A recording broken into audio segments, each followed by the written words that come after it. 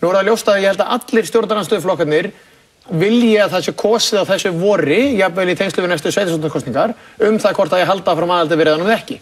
Uh, svo kemur fórsætsræðara í útarpunum í vikunni að hann segir nei það var kjósa um það hvort þau um að ganga í sambandið Já, eða ekki. Já, það var bara það sem við sögðum í vor. Við sögðum að við myndum aldrei ganga í Evropasambandi nema að undangenginni kostningu Já. og við ætlum okkur ekki að nú ganga í, við ætlum ekki að ganga í Evropasambandi, þannig að það þarf ekki að kostningu, þetta er alveg lógíst, Þannig að verður engin kostning. ekki að mínum mati.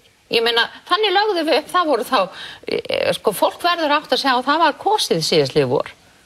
Já, það verður þetta ekki kosið um Evrópasambandið. Já, í og með, ég meina, þetta lögðum við alveg skýrt Jú, fram. jú, þetta það verður auðvitað eitt af kosningamálunum, en það var ekki, var ekki þjóðaratkvæða greiðsla, um Evrópasambandið. Nei, en við sagðum það að við myndum aldrei fara þannig inn nema undangenginni kostningu og ef við viljum alls ekki fara þannig inn þá þurfum við ekki kostningu. Það er bara þannig flokka núna við stjórn. Já, já.